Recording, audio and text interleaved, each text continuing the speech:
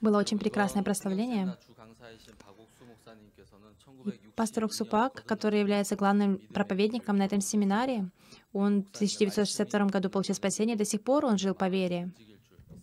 Я верю, что сегодняшнее слово тоже оно будет действовать в ваших сердцах. Пригласим пастора Уксупак. Здравствуйте.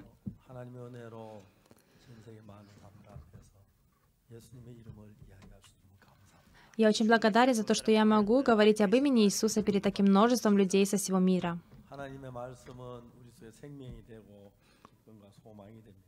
Иисус становится для нас э, жизнью, надеждой и радостью.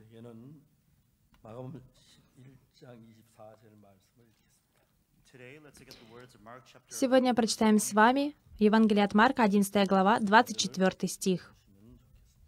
Пожалуйста, откройте в своих Библиях Евангелие от Марка, 11 глава, 24 стих. Если вы нашли, я прочитаю.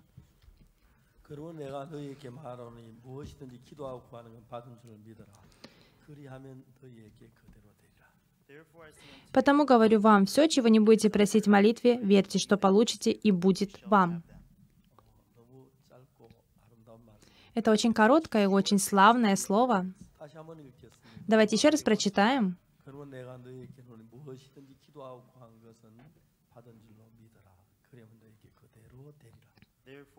Потому говорю вам, все, чего не будете просить в молитве, верьте, что получите, и будет вам.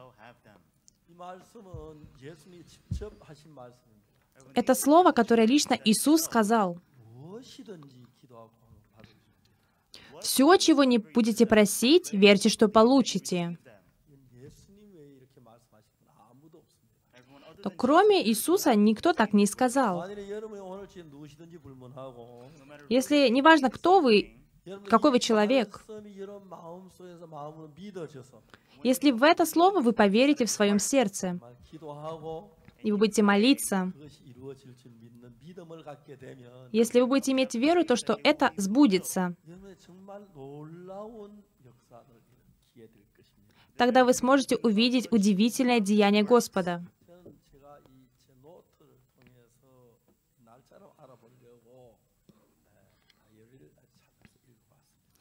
Да, знаете, я смотрела в свои записи, чтобы найти дату.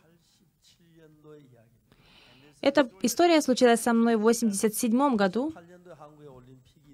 В 88 году проходили э, Олимпиада в Южной Корее. И это было где-то в мае 87 года. Сейчас, знаете, у меня со здоровьем все в порядке. Но не сперва, э, не сначала у меня было такое здоровое тело. У меня были проблемы со здоровьем. Я не любил в холодном месте находиться.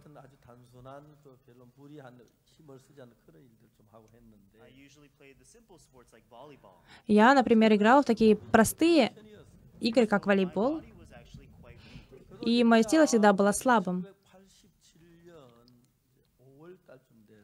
И около мая 1987 года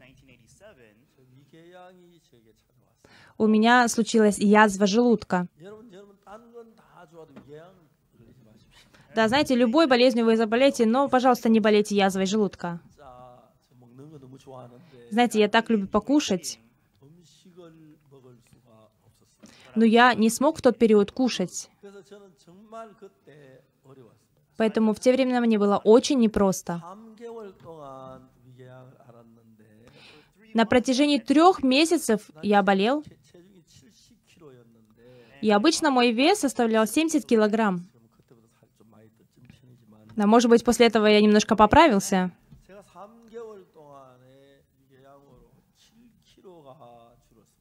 Но на протяжении трех месяцев я похудел на 7 килограмм. Знаете, почему я так подробно объясняю вам мою ситуацию? Потому что в этой истории, в этом слове, именно через это событие произошло очень удивительное изменение моей духовной жизни. Да, конечно, я знал э, теорию Библии.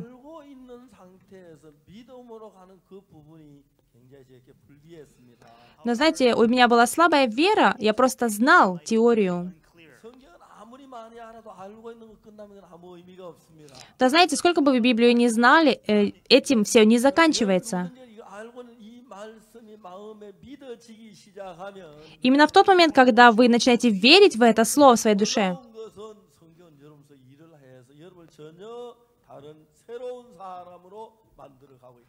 так удивительно, но тогда это слово начинает действовать, и вы можете обнаружить то, что вы совершенно изменились. Да, знаете, в Корее в этот раз из-за коронавируса были также особые трудности. А вот Корея так страдает из-за коронавируса. Да, есть мертвые люди, которые умерли, умерли от коронавируса, есть страдающие люди. Было очень тяжелое время. Но да, конечно, я испытал Бога в своей жизни.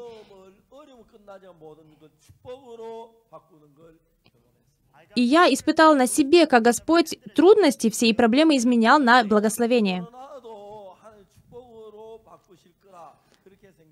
Также я подумал, что и коронавирус Господь изменит во благо.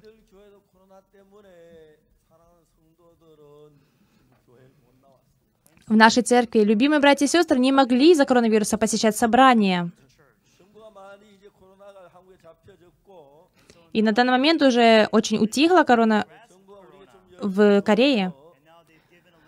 Уже лучше стала ситуация, и нам разрешили собираться в церкви.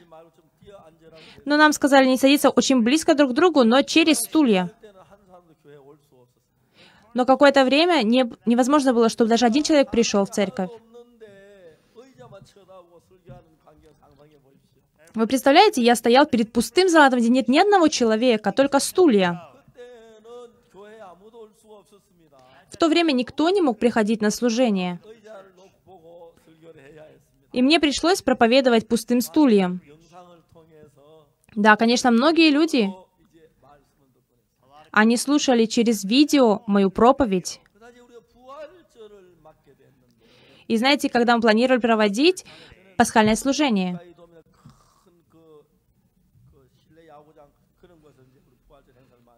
Да, обычно мы проводили в таких больших залах, например, для бейсбола, как качок Скайдом.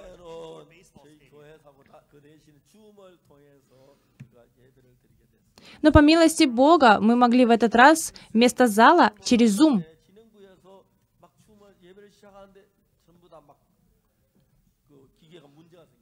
Но когда мы начали служение, мы увидели, что э, проблема появилась в аппарате, в связи. Тогда 2 миллиона людей зашли и слушали слово. Я так был удивлен. И тогда мы переводили на пять языков для трансляции. На корейском языке, на английском, на китайский, на испанский и на французский язык. На пять языков. И были люди, которые слушали именно на испанском языке мою проповедь.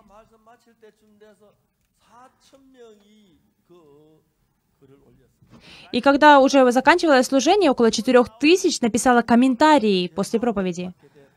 Я получил прощение грехов. Я был шокирован. И теперь мы планировали этот семинар, И мы запланировали то, что будем транслировать на разных каналах наш семинар.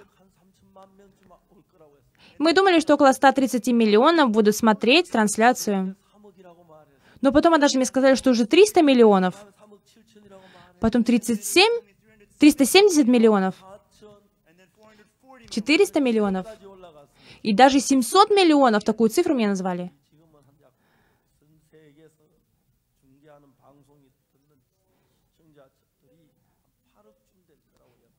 И я представляю, что, наверное, сейчас уже около 800 миллионов телезрителей по всему миру.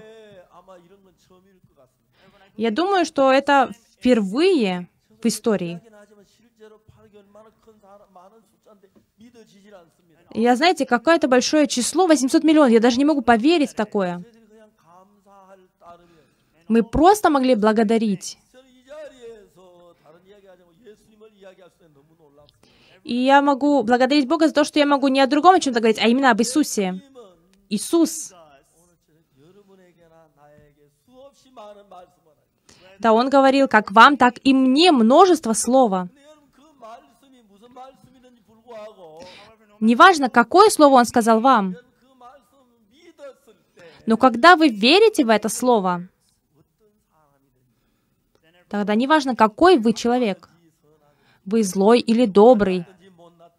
Вы хороший или нехороший? Вы умный или глупый? Вообще не, не важно, какой вы. Когда вы принимаете это слово веры в свое сердце, с того момента Иисус начинает через это слово действовать в ваших сердцах. Да, Господь при создании человека создал нам душу. Он сделал так, чтобы человек мог принимать душу Бога в свою душу. И если человек принимает в свое сердце душу Бога, тогда Господь живет в этом сердце и может действовать. Тогда печали исчезают, да, переживания, начинают происходить удивительные деяния. Хотя на данный момент очень многие люди читают Библию. Но люди не верят в слово Библии, потому что они верят в свои мысли. Но наши мысли отличаются от слова Бога. В Слове Бога написано «Мои мысли не ваши мысли». И пути мои не ваши пути.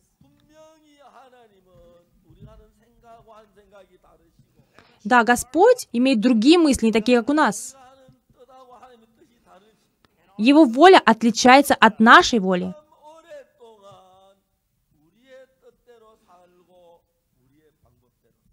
Но долгое время мы жили по своей воле и по своим мыслям но для того, чтобы явить нам свою прекрасную милость. Господь хочет в наше сердце вложить свою душу. Если мы принимаем с верой это слово, когда это слово попадает в наше сердце,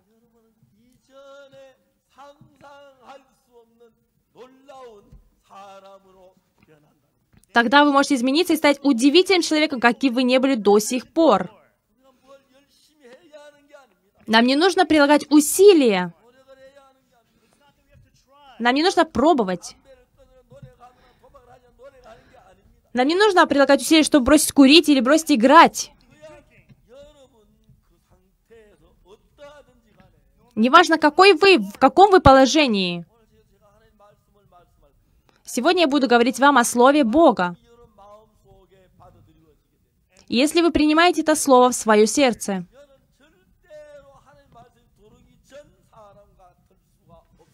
И если вы принимаете это слово, тогда вы не можете стать таким же, как вы были до сих пор. Вы становитесь счастливее, у вас появляется надежда, появляется деяние.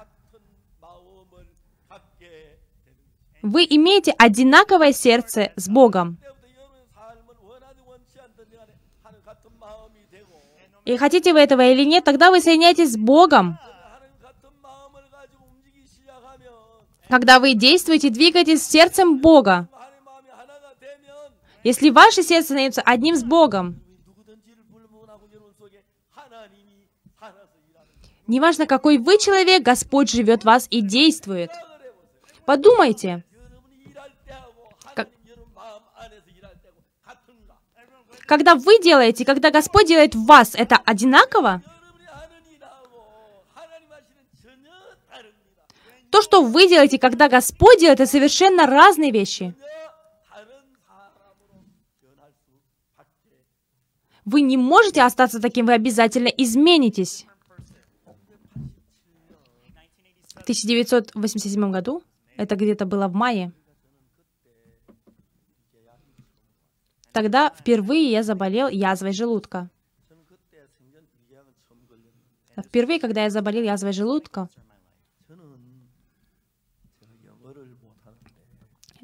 Знаете, я не говорю по-английски, вот так как он. Но одно слово я знаю. I like eating. Я люблю покушать. Правильно, да? Да. I like eating. Я очень люблю кушать.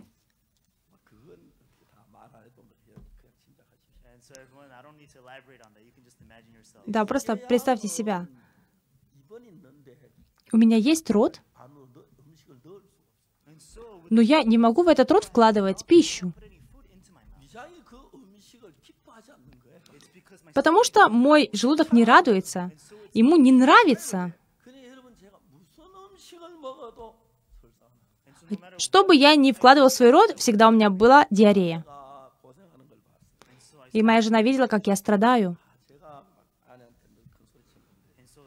И знаете, я часто кричал на мою жену, но когда я болел, я очень чувствовал себя виноватым. Она меня должна была кормить. Я могу есть, но все время у меня был понос, поэтому мне было очень жалко. Представляете, три месяца. На тот период я потерял 7 килограмм веса и мой костюм стал мне велик. Мне было очень мучительно. Да, есть один профессор в большой больнице Ханян. Он терапевт. Он прописал мне лекарства. И знаете, что он сказал мне? Пастор,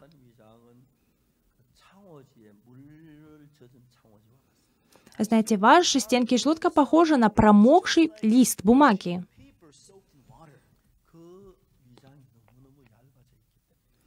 То есть мои стенки желудка стали очень тонкими. Вам нужно быть очень осторожным. Если они если они порвутся, не дай Боже, тогда в 24 часа вы погибнете.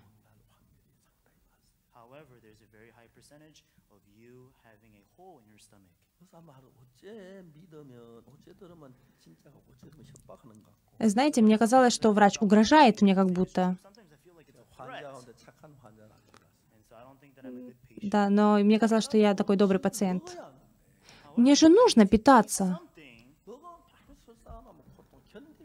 Но я не мог уже терпеть, потому что так я мучился из-за поноса.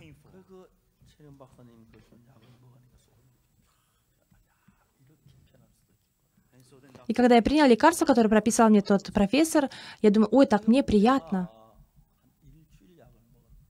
Знаете, где-то на протяжении одной недели я принимал лекарство. И прошла одна неделя, сначала было очень хорошо, но после этого никакой разницы не было. Мне было очень мучительно. И моя семья и жена, они кушали рис, и там с сыром такой рис вкусный. Да, и Ким нужно было морские водоросли нарезать 4 на 4 сантиметра. Потом были, была свинина в соусе.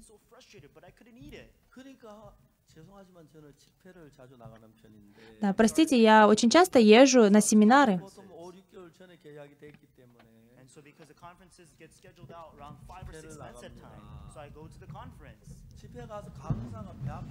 И тогда, если я должен ехать уже через э, пять месяцев на конференцию, если я скажу, что у меня болит желудок, как же так? Да, и там, если меня готовят, очень вкусно иду. Мне было очень больно. Да, три месяца я вот так болел. Однажды утром рано я встал, я подумал,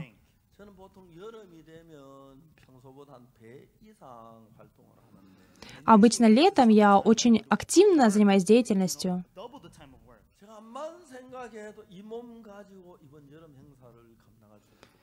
Я думал только, я думал, как же я смогу пережить это лето со своим организмом. Поэтому в тот день я серьезно стал на колени перед Богом и начал молиться. «Господи, мой живот очень болит. С таким животом я не смогу провести все мероприятия летом. Господи, я очень прошу Тебя, Ты дай мне выздороветь. Вот таким образом я молился.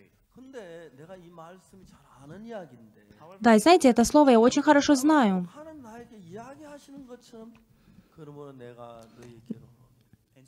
Но как будто Господь говорит прямо мне, потому говорю вам. Все, чего не будете просить в молитве, верьте, что получите, и будет вам. О, это такое великое слово. Все, чего не будете просить, просите в молитве. И когда вы поверите, если будете просить, молите, верьте, что получите. И будет вам. Но знаете, до сих пор я не думал, что это такое важное слово, серьезно не отразился. Вы представляете, даже такое слово существует. Если я молюсь, если я поверю, что Господь ответит мне, Тогда так и будет. Это же Слово Бога. Оказывается, вот так просто. Знаете, почему я говорю вам об этом? Кто-то очень много слушал слово, Слушают и знают. Очень хорошо сдают экзамен по Библии. Но очень много людей, которые не верят в этот факт. И до того, как я понял, а, это потрясающе. Я молился, Господи, Ты исцели мой желудок.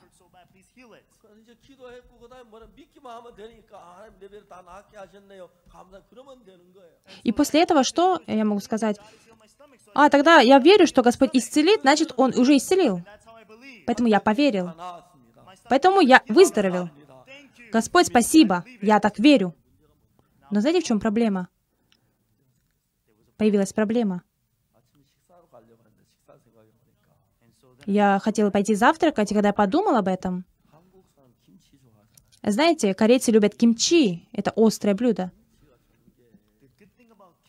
Но знаете, когда я думал, у кимчи очень острый вкус. И он совпадает с любым блюдом. Если кушать холодный рис, если кушать лапшу, тогда очень хорошо подходит. Даже со стейком очень сочетается. Кимчи имеет очень сильный вкус, поэтому с любым блюдом сочетается хорошо. И если я представлю, что кимчи — это молодой юноша, тогда он может жениться на любой девушке. Это на самом деле так. Но знаете, корейцы, есть люди, которые живут без жены, но нет людей, которые смогут же прожить без кимчи. Да, даже говоря, что кимчи важнее, чем жена.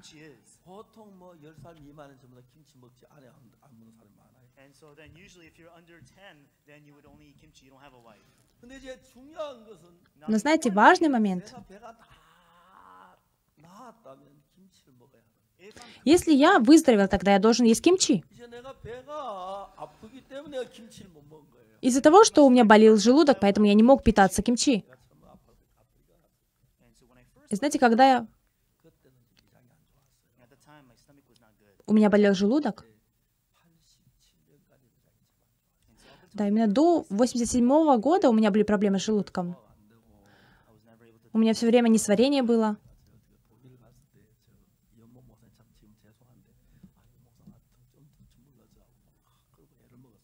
И когда я ездил в Германию, тогда я просил пастора он мог вы, пожалуйста, простить, но можете мне помять немножко, чтобы у меня произошло сварение желудки?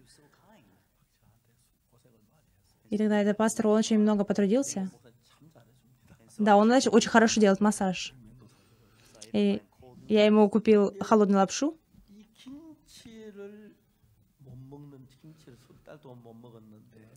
Уже три месяца я не мог есть кимчи.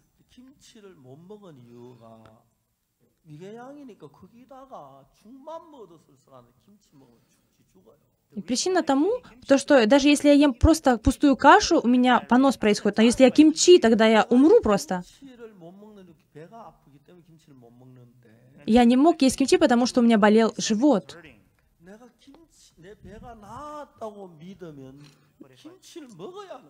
Но если я верю, что я выздоровел, значит, я должен есть кимчи. Почему я не ел кимчи? Потому что у меня болел живот.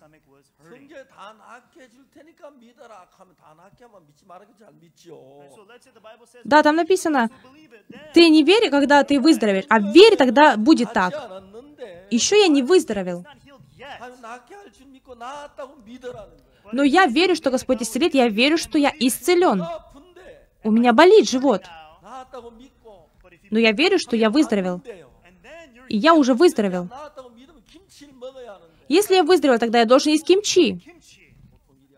Знаете, это непростое дело. А как я смогу есть кимчи? А что, если у меня лопнет желудок? Врач сказал, что я и так могу умереть. Врач сказал, что мой желудок подобен э, промокшему листу.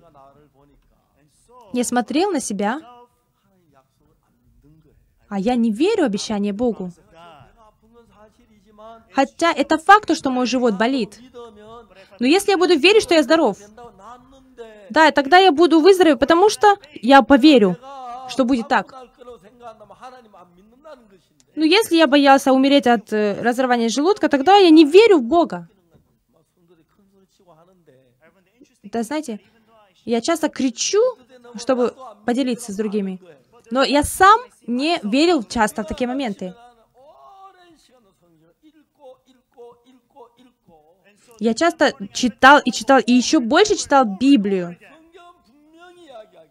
Библия очень точно говорит, Верьте и получите. И будет вам. Да, достаточно просто поверить. Но почему я переживаю? Потому что я не верю Богу.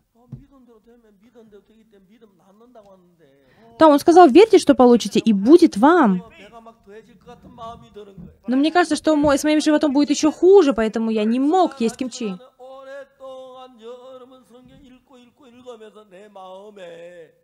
Хотя я долгое время читал, еще больше читал Библию. Но когда в моем сердце я верю, хотя врач говорит, что это опасно, да, что мой желудок станет еще хуже, или же я выздоровлю.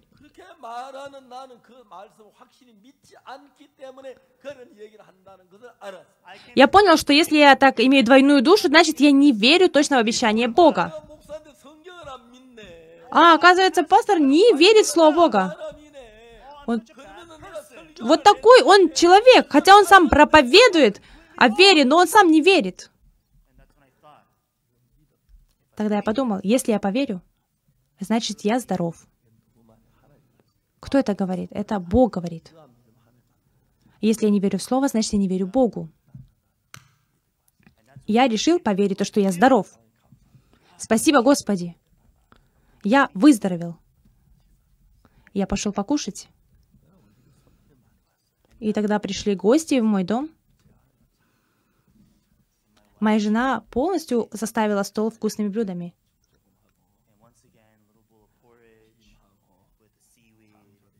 И там она сделала мясо, и сделала капусту, и мельчи, такие маленькие анчоусы. Я увидел.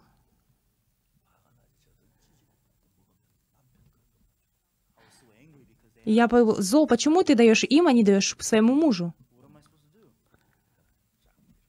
И я отодвинул свою кашу, И просто поставил, я не знаю, просто я подвинул одно из блюд. Взял ложку и начал кушать. И потом кимчи. И я почувствовал этот вкус за долгое время. Я начал есть. Моя жена была шокирована. Ой, что ты делаешь, дорогой? А что я делаю? Я уже выздоровел. Она посмотрела. Она не смогла больше мне ничего говорить и ушла. И я начал кушать. И знаете, это моя история. Я прошу прощения. Но после того, как я получил спасение,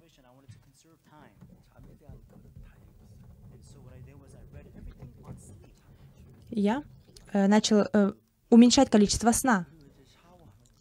И знаете, когда я принимаю душ, я думал, как можно побыстрее принять душ. И даже когда я, до того, как я женился, когда я кушал, да, я никогда не ел больше, чем две минуты. Я на всем решил экономить для того, чтобы читать Библию. И когда я шел в туалет, я брал с собой Библию. Все время, когда я куда-то ходил, я все время читал Библию. И я все время вот так читал Библию. И знаете, до сих пор моя привычка быстро кушать тоже не проходит. Да, конечно, не важно, когда в обычное время, но когда я кушаю с президентом, да, нужно подстраивать свою скорость под скорость президента. Но обычно я ем, и у меня ничего уже нет. Поэтому я начинаю закуски только кушать потихоньку. Но все время я такой. Да, я закончил уже. А все остальные только половину съели. Я положил свою ложку. И знаете, что важно? И тогда мой живот начал болеть. Я не мог терпеть.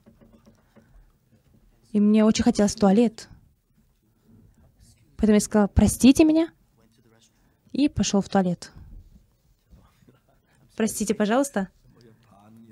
Хотя вы, наверное, уже большинство знаете об этом. У меня был очень сильный понос.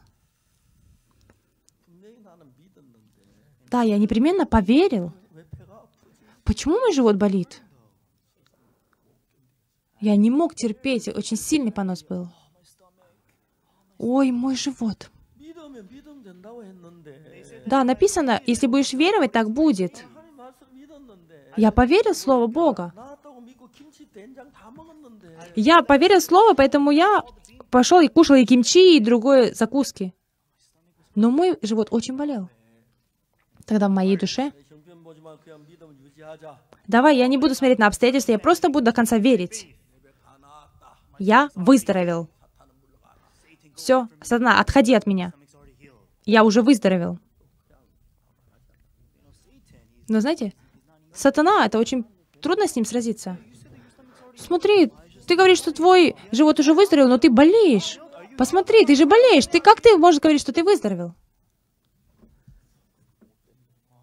А, сатана, ты такой ужасный. Да, у меня болел живот. Да, конечно, у меня был понос. Но в Библии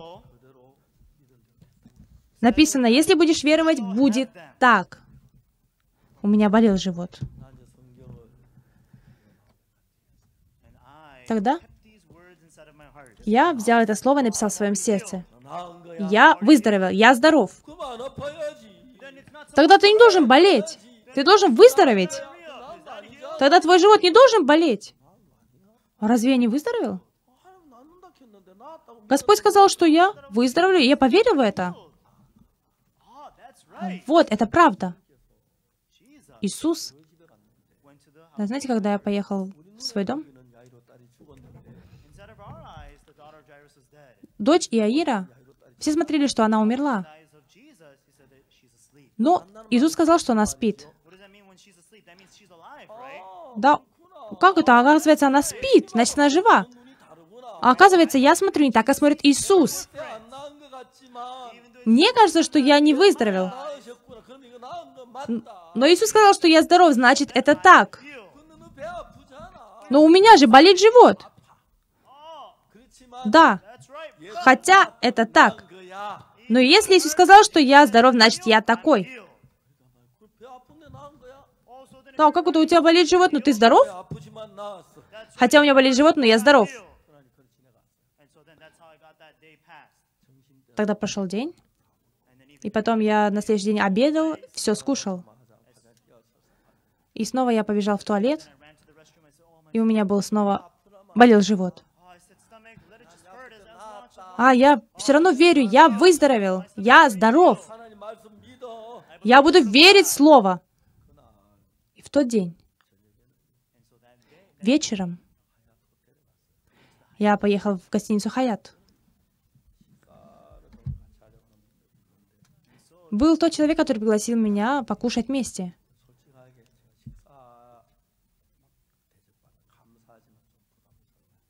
И я сказала, ой, простите, я, конечно, очень благодарю вас, но мне очень стыдно. Потому что ехать надо час, потом обратно час тоже, и кушать надо время. Но мне нужно было ехать обязательно. Там был известный буфет, шведский стол. А, я думала, может быть, мне нужно взять немножко каши и покушать. А нет, я здоров. Потом я съел пять тарелок. И полностью я заполнил их. Да я наелся. Мой живот раздулся. Но я впервые не имел поноса. Потом такой я сытый был и ехал домой. Я спал. И на следующее утро мой желудок стал совершенно здоров. Exactly in 24 То есть за 24 часа.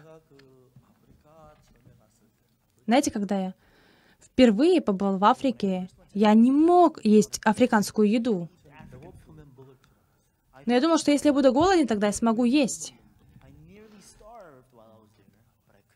Но я не смог. И сестра, она сказала мне, «Пастор, что вы любите из корейской пищи?» А я люблю тенджан, это соевая паста. И она меня спросила, знаете, а что такое твинджан? Из чего это делают? Нужно иметь сою. А, хорошо, мы сделаем вам тогда соевую пасту. Но знаете, они не могут сделать нормальную соевую пасту. Я сказала, нет, не нужно. А почему мы не можем разве похожее сделать? Она сказала, что это нужен год целый, чтобы сделать эту пасту. Тогда сестра удивилась, какое блюдо готовится целый год. И тогда целый год э, вы что едите, если ждете эту пасту? Тогда мы кушаем прошлогоднюю пасту. А что в прошлом году вы кушаете? Тогда то, то, что за год еще сделали. Она не могла понять меня. Но знаете, как африканцы не понимают нашу жизнь корейскую. Также и нам очень сложно понять то, что Господь делает. Но все же мы можем верить. Прошло ровно 24 часа.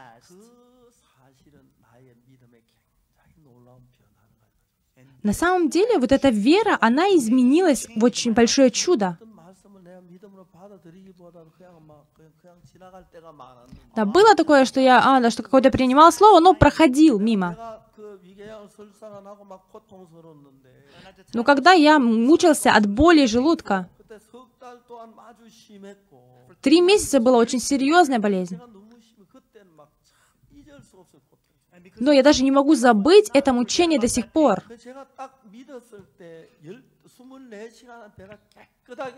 Но когда я поверил, именно за 24 часа я полностью исцелился. Я не мог есть э, кислое, острое, заправленное. Я, знаете, люблю и мучное, и очень я люблю разновидную еду. Я, знаете, хочу отобрать у кого-то на улице печенье. Но очень хорошее у меня стало состояние желудка. Но что говорит Библия?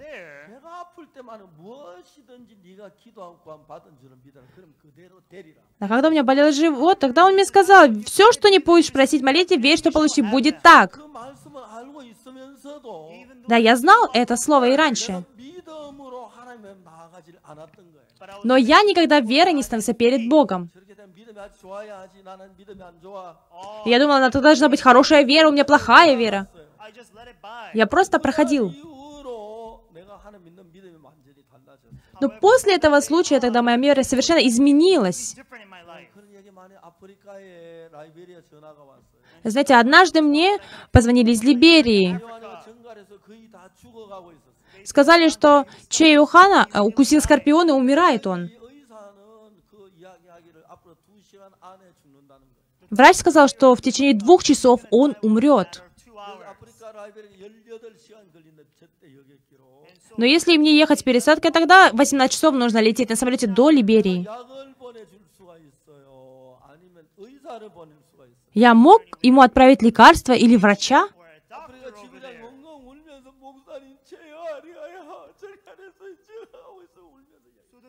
Но миссионер, он позвонил мне и плакал, пастор, Иоанн скоро умрет, что же делать? В то время я вспомнил это слово. Я могу ли поговорить с Иоанном? Да, пастор. Иоанн.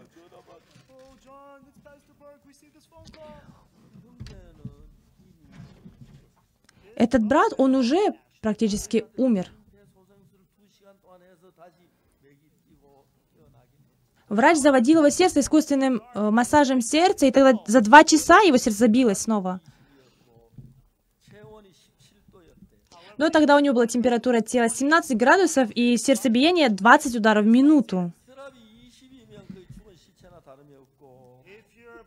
Это получается одинаково, что это труп. Это 20 ударов, 17 градусов, это как будто труп лежит. Но тогда его память была живая. Поэтому я попросил поговорить с ним по телефону. Тогда я смог поговорить с Юханом.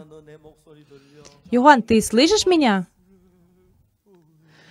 Да, пастор. Да, сейчас говорят, что тебя укусил скорпион, ты умираешь. Где-то через пару часов ты умрешь. Да, он тоже знал об этом. Знаешь, Юхан, я читал сегодня утром Библию. Сегодня утром я читал Исаию 40 главу, 31 стих.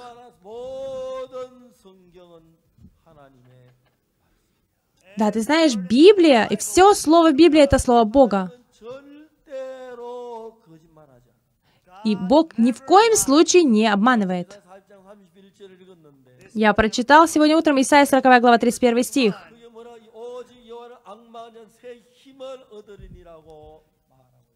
Там написано, «А надеющиеся на Господа обновятся в силе». Послушай меня, Иоанн. Господь никогда не обманул. Господь ни в коем случае не врет. Если это слово, слово Господа, тогда ты посмотри на него. Ты подожди его деяний.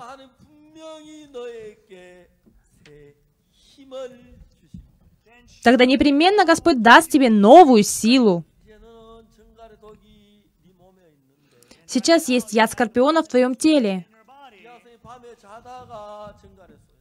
Тогда его укусил скорпион ночью, когда он спал. Он, когда спал, он почувствовал, что его как будто укололи, но увидел, что ничего нет вокруг. Поэтому он снова заснул. А утром он сказал соседу, «А, меня кто-то уколол ночью, когда я спал». Но я не знаю, кто это сделал. А может быть, это скорпион? Ой, да что ты говоришь? Как здесь может быть скорпион? Это время прошло. Но около трех часов дня в тот день, когда Юхан шел в туалет, у него что-то начало бурлить в животе, и он не дошел до туалета, он упал.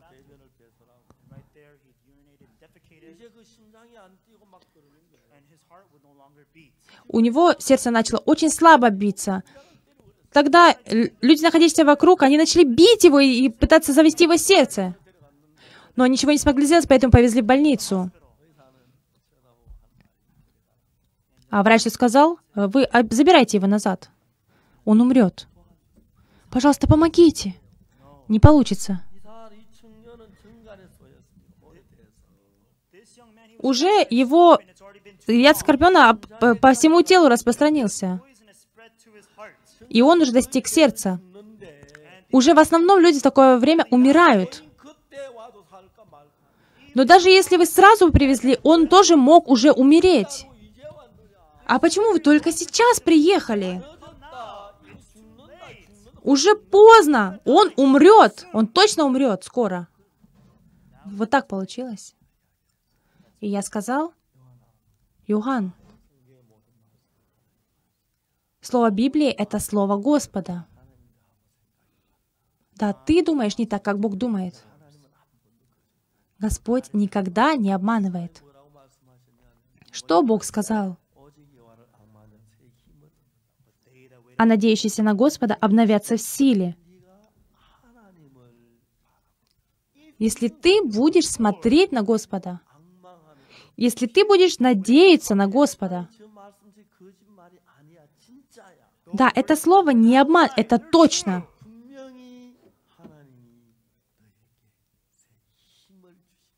Непременно Господь даст тебе новую силу.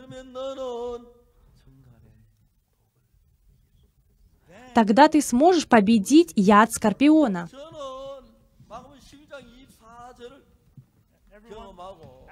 Да, знаете, после того, как я испытал на себе деяние слова, Марк 11 глава 24 стих, когда за 2-4 часа мой организм полностью очистился,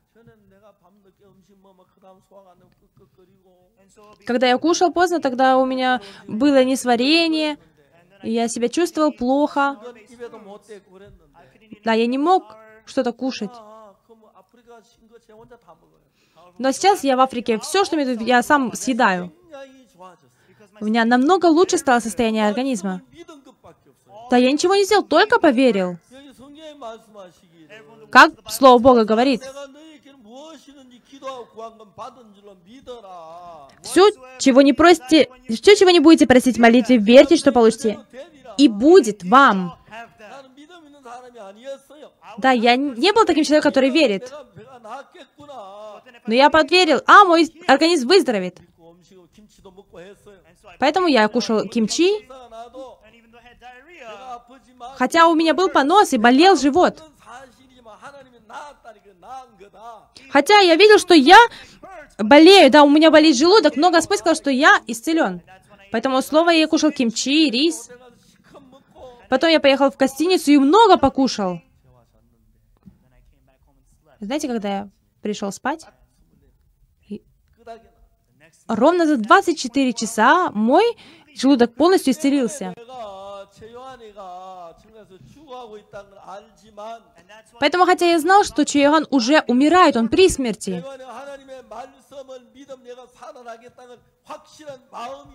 но я почувствовал точно в душе, что если он поверит в слово, тогда он исцелится. Тогда это время не работал как ауток. Представляете, как дорого была международная связь. Но 15 минут я объяснял Йохану. Ты понимаешь меня? Ты верь Богу. Бог даст тебе новую силу. Ты можешь победить этой силой яд Скорпиона. Хотя ты как будто не можешь избежать смерти. Но попробуй надеяться на Господа. Он даст тебе силу. Ты можешь победить этот яд Скорпиона.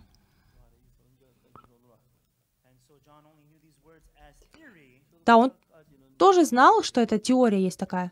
Я тоже это слово знал просто до того дня. Но в тот день, когда э, это слово действовало, и мой желудок исцелился, поэтому уже многим людям я рассказала такой способ. Я видел, как многие люди смогли исцелиться. Господне Слово живот, живет. И оно двигается.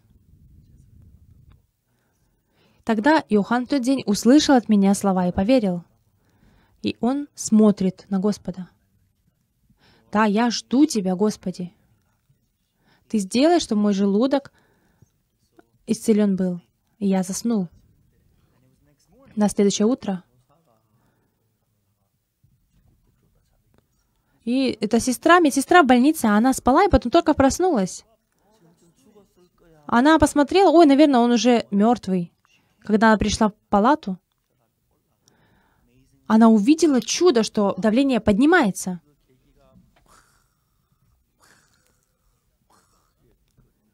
Этот аппарат, он начинает так двигаться, и видно, что пульс поднимается.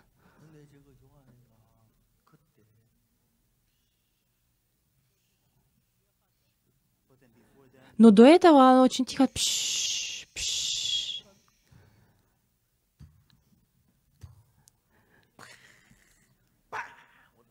Но после этого э, сердце Иоанна стало биться так.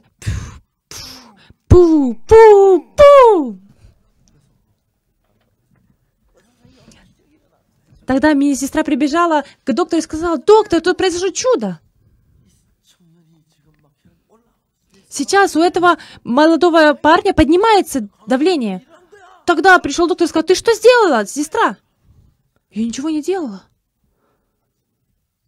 Тогда он проснулся утром. О, как у тебя дела? Хорошо? Да, хорошо. А ты знаешь, вчера ты под себя ходил по большому, по маленькому, я все убирал за тобой. А да. Вот видите, это фотография, когда сперва такое было. И потом через несколько дней вот так произошло с ногой. Но знаете, это очень страшно, я скорпиона. Обычно нужно делать операцию. Но если человек э, э, получил яд скорпиона, нельзя делать наркоз. Да, представляете, это по-живому убирать вот эту корочку очень больно. Но через некоторое время его нога стала очень чистой. И он поехал в Америку. В 2013 году он женился. Самой красивой девушкой они поженились.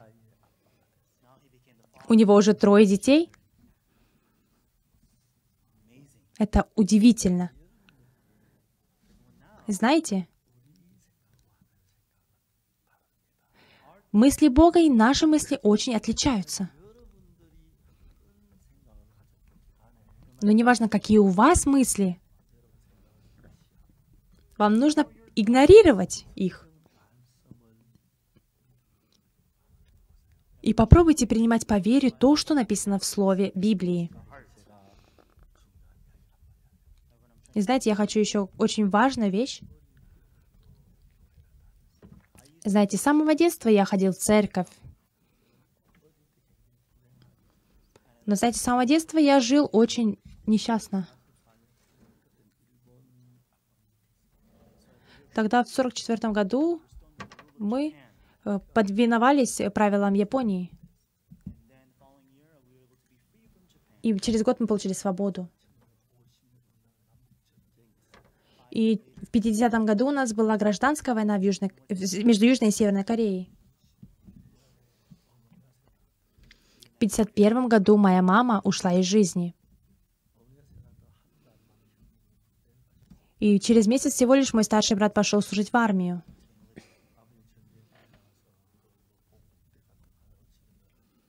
И мой отец, он также пошел и помогал на войне в тылу.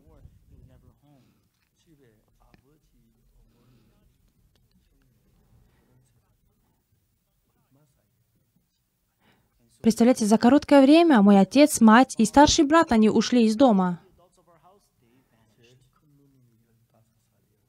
Моей самой старшей сестре было 15 лет. А второй сестре было 13 лет. Мне было 8 лет. И моему младшему брату было 4 года.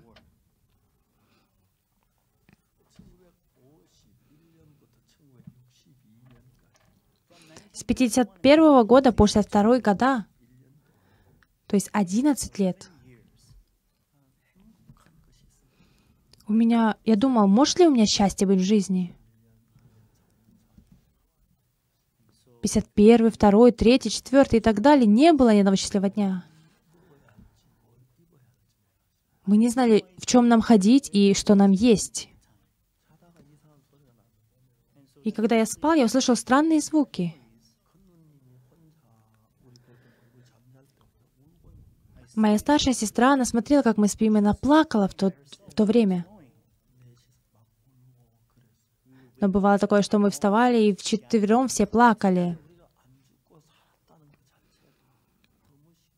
Нам было удивительно то, что мы до сих пор не умерли, и мы живы.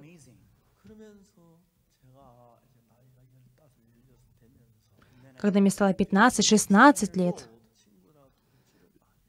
я много воровал со своими друзьями. Мы воровали картошку, хурму и также орехи. И мы каждый день просили за свои грехи. Но знаете, что важно? Что важно? То, что Слово Бога отличается от моих мыслей.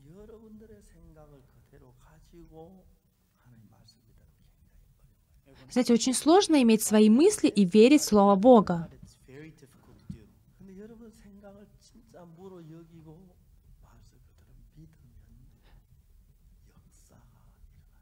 Но если вы принимаете свои мысли как бесполезные и просто верите в слово, тогда оно действует.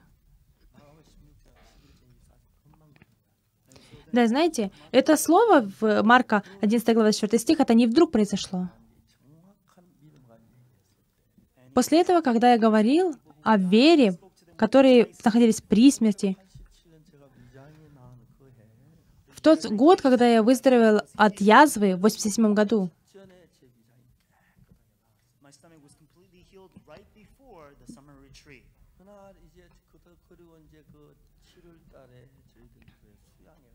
Да, и знаете, именно до э, летней конференции, когда у нас проходит в июле, мы, у меня мой желудок выздоровел. И я точно так же свидетельствовал в первый вечер на конференции, как сегодня говорю вам.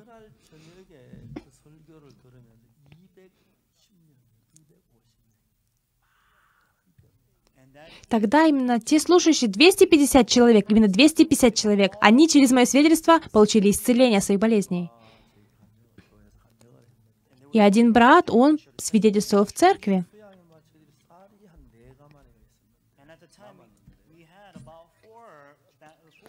У нас был рис, да, который подготовили для конференции. И получилось так, что мы забрали этот рис.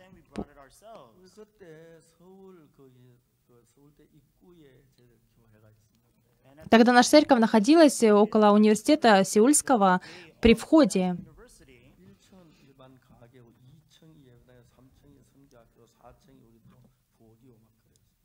Да, у нас была э, на первом этаже просто магазин, на второй о, зал, потом еще мясницкая школа. И на четвертом этаже была наша кухня. И этот брат, этот брат, он погрузил три мешка риса э, в багажник,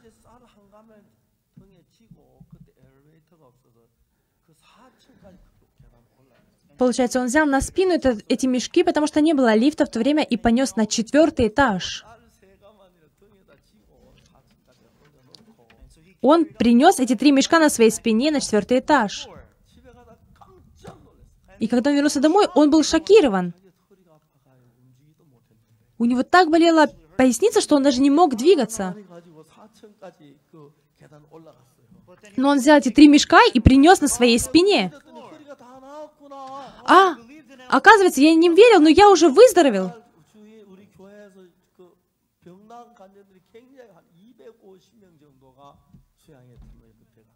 Тогда 250 человек, они слушали мое свидетельство, и по тоже они получили исцеление от своих болезней. Когда вы смотрите на слово и не верите, тогда кажется, что оно мертвое. Но если вы начнете верить в слово, тогда оно живое и действует в вашей жизни. Вы тогда можете от своей веры видеть удивительные деяния. Хотя мы читаем, смотрим слово Библии и знаем.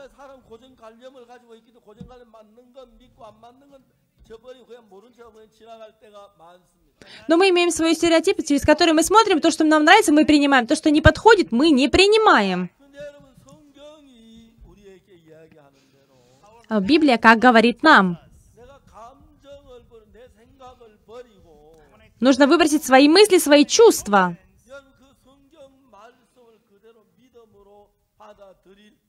И когда мы принимаем Слово так, как оно есть в Библии,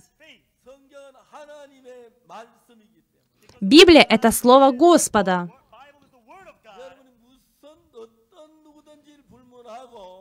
Неважно, кто вы, какой вы человек. Но Господь может действовать своей силой в ваших сердцах. Сегодня еще одно слово хочу показать вам в Библии. Давайте откроем с вами Библию, книга к римлянам, третья глава. К римлянам, третья глава, 23 стих. Вы нашли? Давайте вместе прочитаем с вами. Что здесь написано? Давайте вместе прочитаем 3 и 4. «Потому что все согрешили и лишены славы Божьей. Из-за того, что мы все согрешили, мы лишены славы Божьей.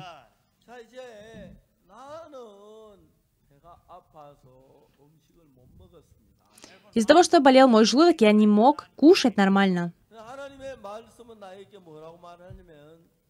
Но в Слове Господь что мне сказал?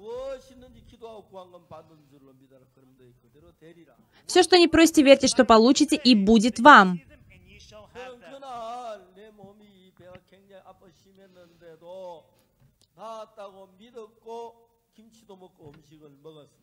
В тот день, хотя у меня сильно болел желудок, но я поверил, что я здоров, поэтому я ел и ел даже кимчи. Не только я выздоровел на этом месте. Да, я имел дальше понос но я все равно до конца верил в слово.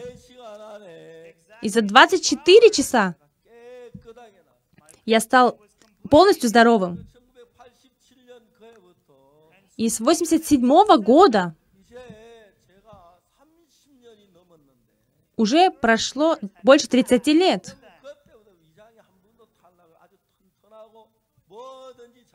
Но до сих пор у меня никогда не было проблем с желудком. Я очень хорошо все кушаю. Я очень здоровый. Но я не имею другое тело. В 11 главе от Марка, 24 стихе. Все, что не просите, верьте, что получите, и будет вам.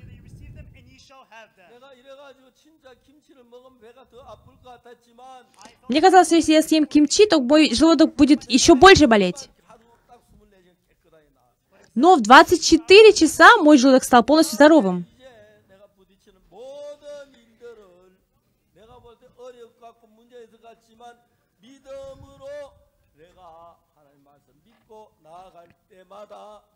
И после этого, когда я думал, что это трудности или проблемы, которые встречаются в моей жизни, я по вере, когда делал шаг,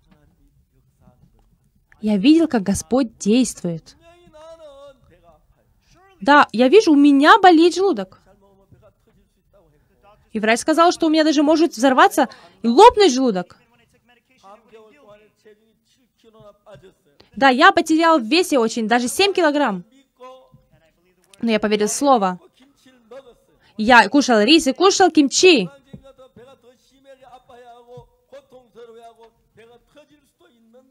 Да, у меня может еще больше болеть желудок, и даже он может лопнуть. Но за 24 часа я полностью выздоровел. И не только Чуе Йохану я говорил. Многим людям я также говорил так. Попробуй верить в Слово Господа. Оставь свои мысли. Ты до сих пор выбросил Слово Бога, веря в свои мысли. Но сейчас ты поверь в Слово Господа.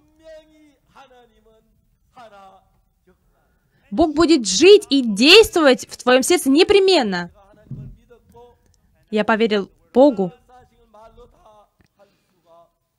И я не могу рассказать, как Господь действовал в моей жизни даже.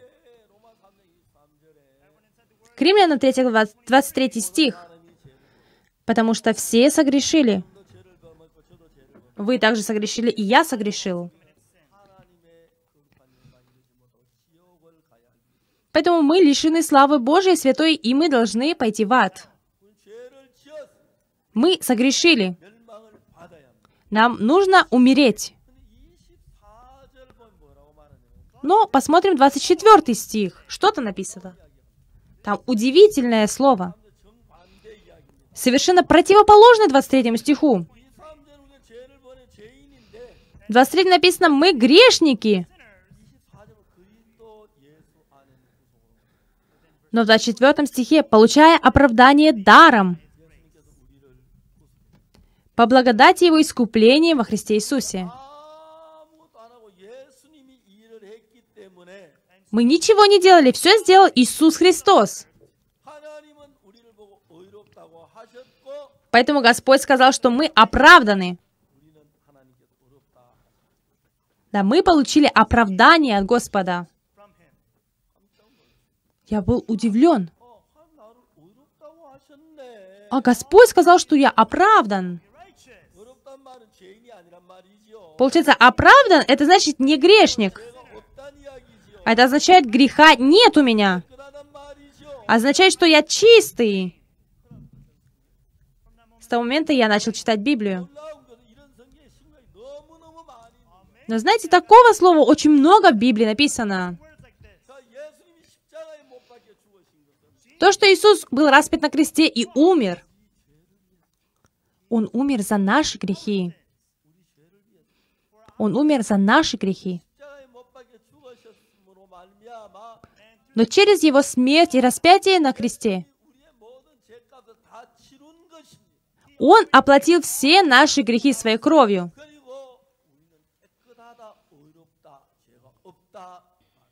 И он сказал, мы чистые, праведные, у нас нет греха. Да, Господь сказал, достаточно просто верить.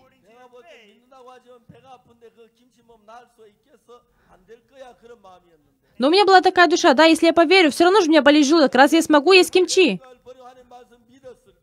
Но когда я выбросил свои мысли и начал верить в Слово Бога,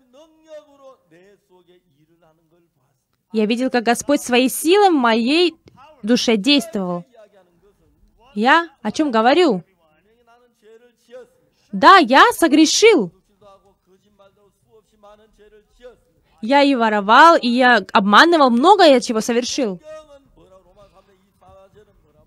Но что написано в третьей главе послания к Римлян, 23 стихе? В 24 написано, получая оправдание даром.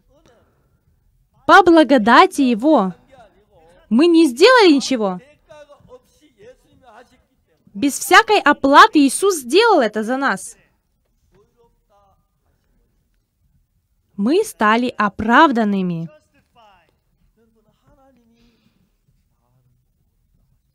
Господь сказал, смотря на меня, что я праведный. Я получил оправдание перед Богом. Для того, чтобы оправдать нас. Иисус взял наши грехи и пошел, был распят на кресте. Через Его смерть вся оплата за грех произошла на кресте. 1962 году я поверил в этот факт. Я согрешил много. Точно, сто процентов я грешник. Но Господь смотря меня говорит, что я оправдан. Я говорю, что я грешник. А Бог говорит, нет, твои грехи омыты. Ты праведный. Ты святой. Что важно, мои, мои слова или слова Бога? Если Бог говорит, что я праведный, значит я праведный. Если, если Господь сказал очищены грехи, значит они очищены. Поэтому с того момента, какие бы мысли у меня ни приходили, я согрешил много. Я много воровал, много обманывал.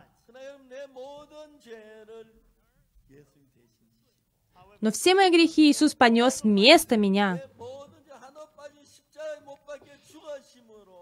И своей кровью, своей смертью на кресте Он очистил меня. И что говорит Библия? Получил оправдание я.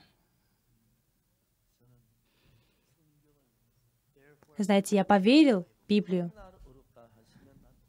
Если Бог сказал «А оправдан, значит я праведный. Потому что Бог есть судья.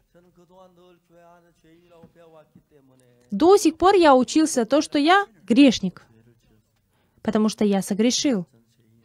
Поэтому я тоже говорю, что я грешник. Многие люди говорят, уже Иисус очистил твои грехи, но ты же согрешил, поэтому ты грешник. Нет,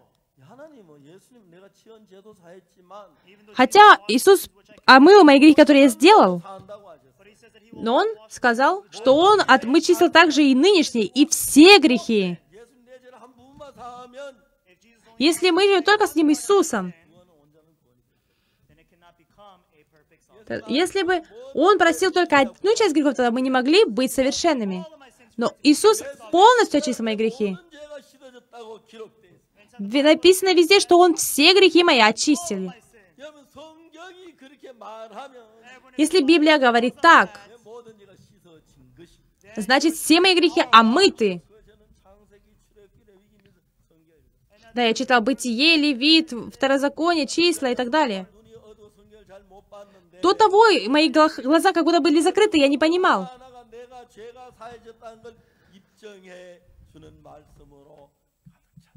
Но после этого я читал Библию и видел везде, что Иисус написал, что Он очистил меня.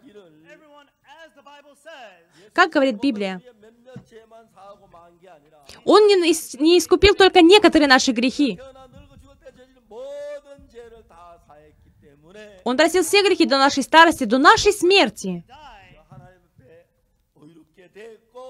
Поэтому я стал оправдан перед Ним. И Иисус сказал, что я оправдан. И сегодня я хочу сказать вам важный момент. Вы можете иметь много мыслей. У каждого из вас свои мысли вы имеете. Но знаете, какая проблема есть? Если Бог говорит слово, тогда ваши слова правы или Бога слово право? Слово Бога – право. Во что нужно верить, в наши мысли или в Слово Бога? Еще немножко хочу продолжить. Иисус встретился с 38-летним больным в Эфезде.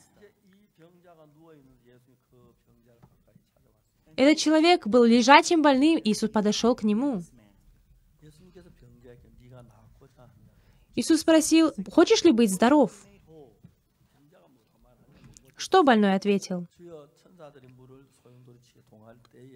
Когда ангел спускается и возмущает воду, когда я дохожу до этого места, уже кто-то сходит прежде меня. Некому отнести меня до этого купальни. Поэтому у меня нет пути. А что Иисус сказал?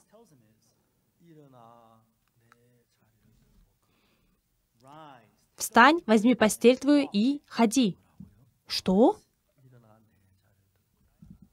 Встань, возьми постель твою и ходи. Да, этот больной знал то, что его ноги уже иссохли, он не может ходить.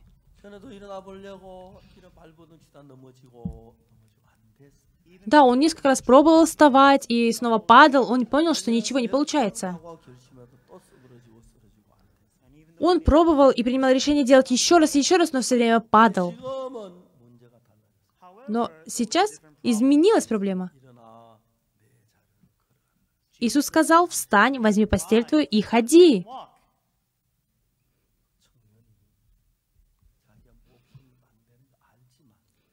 Тогда этот молодой мужчина, он знал, что он не может ходить. Но он последовал слову Иисуса и встал. Это удивительно. Он встал. Он может идти. О, оказывается, я хожу. Я встал. Вот так получилось. Это есть Слово Бога. Вам кажется, что это не так. Не знаю, как вы чувствуете. Если Иисус говорит «иди», тогда вы можете идти. Если Иисус сказал «очищены», значит, они очищены. Что важно? Для того, чтобы действовать Иисусу. Из-за того, что наши мысли не такие, как у Иисуса. Нам нужно верить не в свои мысли, но в Слово Бога. Мне нужно выбросить все мои мысли. И вы попробуйте поверить в это слово. Если Бог говорит «оправданы», значит мы праведные. Если Господь говорит «мы святы», значит мы святы. Да, в 23 стихе написано, получая то, что мы согрешили лишны слова Божии. Но в 24 получая оправдание даром. ничего не сделали. По благодати искуплению во Христе Иисусе мы сделаны оправданными. Кто оправдан? Вы, я, все мы получили оправдание. Господь сказал, что мы грязные гречки, но мы оправданы. Потому что Он уже получил все наказание за наши грехи. Еще посмотрим в следующей главе. К римлянам 4 глава, 25 стих, также прочитаем вместе с вами. «Который предан за грехи наши и воскрес для оправдания нашего». Иисус воскрес для оправдания нашего. Посмотри на дырки от гвоздей в руках Иисуса посмотри, в ребре здесь прокол. Это есть символ того, что я вместо тебя умер за грехи. Все твои грехи прощены. Все грехи прощены. Ты святой поэтому. Э, э, люди Ветхого Завета приносили жертвы.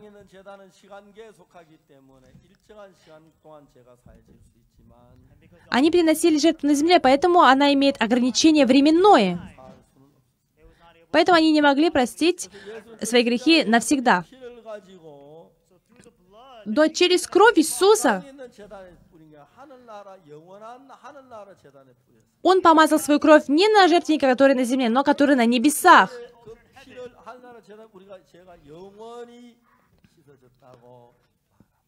И он говорит то, что этой кровью наши грехи навсегда, навечно очищены. Он, когда очистил наши грехи, он сказал, что навсегда очистил. И назвал нас праведными. Знаете, я очень много плохих поступков сделал и согрешил. Я смотрел, я грешник. Я смотрел на себя, я грешник. Да, я грешник. Я согрешил. Но я читал Библию. Христос искупил меня. Бесплатно. И я стал оправданным безвозмездно. Я поверил.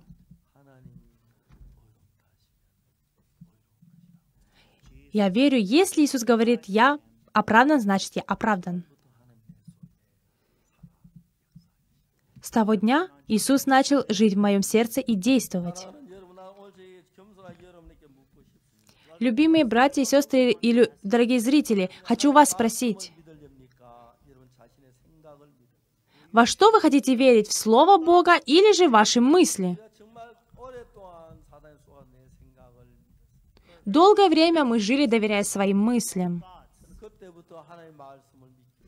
Но я с того момента принял решение верить в Слово Бога. Есть решающее слово Коринфянам, послание 6 глава, 10 стих. Давайте посмотрим, Коринфянам 6 глава, 10 стих. Что здесь написано? Здесь написано так. Первое послание Коринфянам, 6 глава, 10 стих.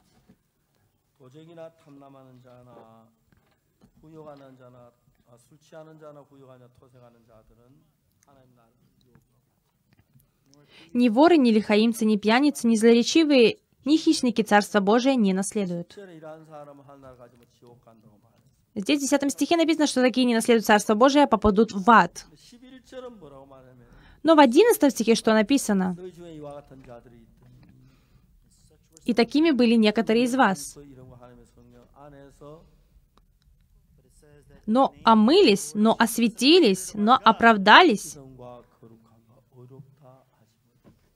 именем Господа нашего Иисуса Христа и Дуга, Духом Бога нашего. До сих пор вы верили в свои мысли. Но давайте сегодняшним вечером мы будем верить в Слово Божье. Мы согрешили.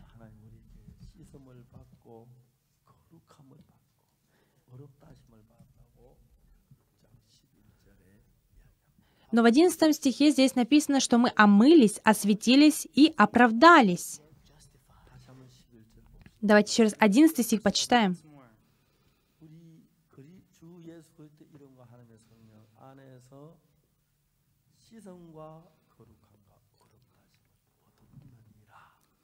но омылись, но осветились, но оправдались именем Господа нашего Иисуса Христа и Духом Бога нашего. А если я получил оправдание, но я согрешу, я грешник. Таким образом, Иисус не мог искупить все наши грехи. Он только все грехи омыв, может сказать, что мы спасенные. Иисус очистил все наши грехи. Поэтому не доверяйте своим мыслям. Вы верьте, пожалуйста, в слово Библии. Тогда Дух Святой будет сильно действовать.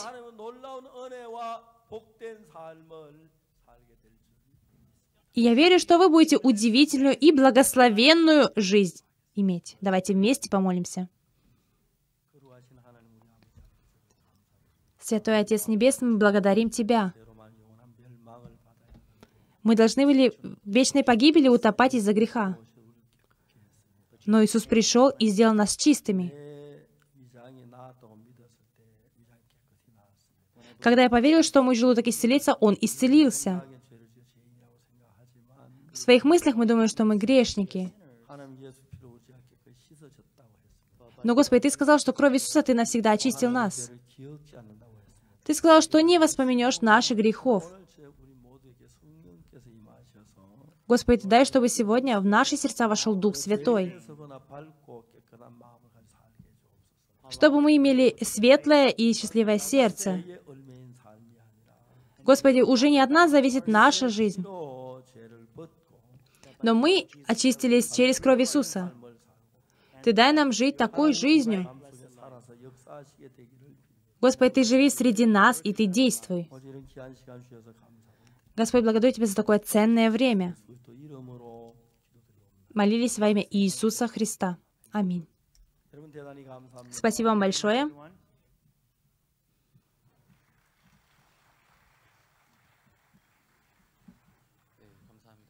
Спасибо большое. Да, наше, это слово, оно двигает наше сердце по вере. Наш семинар онлайн продолжается до среды.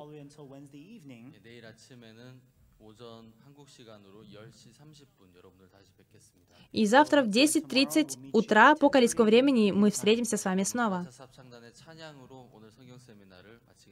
Та и сейчас также прославлением хора Грасис мы закончим сегодняшний семинар.